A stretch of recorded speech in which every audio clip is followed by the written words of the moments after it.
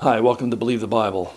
Four simple reasons why I believe the way I believe, why I believe in God and I believe His Word. Number one, because that which may be known of God is manifest in them, for God hath showed it unto them.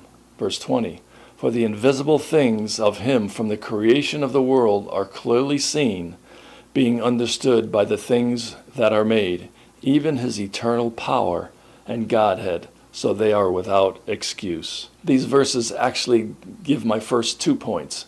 One is that God puts it in us, it's innate, it's within our system. God puts it in man to know and believe Him. Man has to actually fight against their own conscience in order to deny God.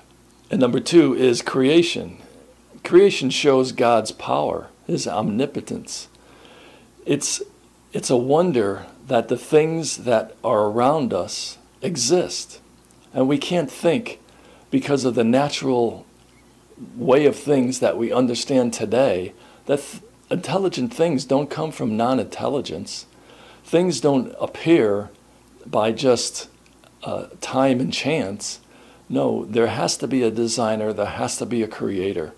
And it would be totally illogical to think otherwise. Which brings me to my third point.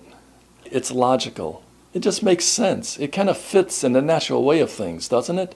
Anything for us to have, if we want to produce a, a, a chair or a house, it has to be designed and then put together with materials that exist. Well, God put together everything out of nothing, and maybe that's the hard part to believe that God uh, always existed and yet he created things out of nothing.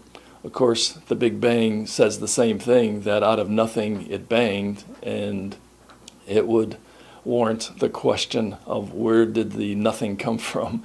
And so it just, between God putting it in us, creation itself, it making sense and being logical, and number four, faith in His Word. I, I believe God's Word. That's why I named this channel Believe the Bible and I can't see any errors, mistakes, or inconsistencies with it. Yes, I know there's many contradictions, but a contradiction is not an error. The Levitical law said you can't eat certain foods, but Paul said you could eat anything you want. That is a contradiction.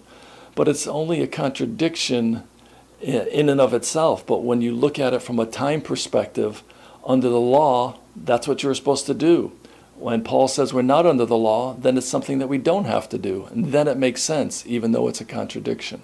It fits. That's how we can reconcile God's word.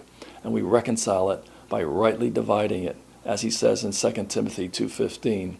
Study to show thyself approved under God, a workman that needeth not to be ashamed, rightly dividing the word of truth. Study, don't be ashamed, be a workman and make sure it's done rightly divided. Thank you for your time. You have a great day. What are the reasons that you believe in God, in His Word? If someone were to ask you, what would your answer be?